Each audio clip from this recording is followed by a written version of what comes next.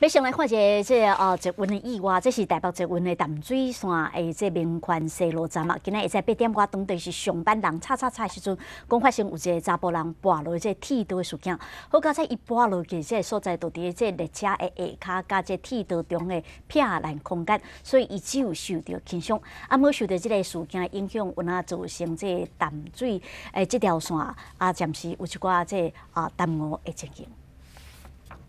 淡水山边宽西路站的第二月台，伫通勤时间有人拨落去。八点三十六分，一名五六十岁查甫人伫车进站的时阵，敢若家己跳落去，互列车降入去。加在位置伫轨道上的避难空间，紧稍赶紧解救起来。查甫人身躯无骨折，意识清醒，上病院治疗，性命非常稳定。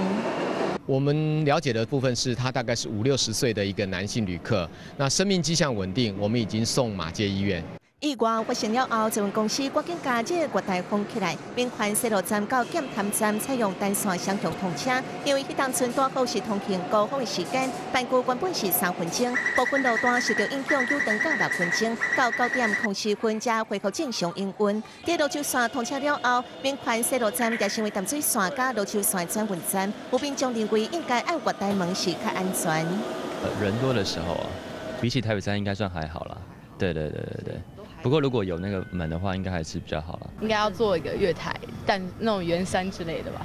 在运公司表示，中文站都是第三座国台门的车站，目前并款西路站的国台门预算已经通过，近期就会做。也呼吁民众爱惜生命，等车时阵徛伫等车线内边，避免发生意外。记者综合报道。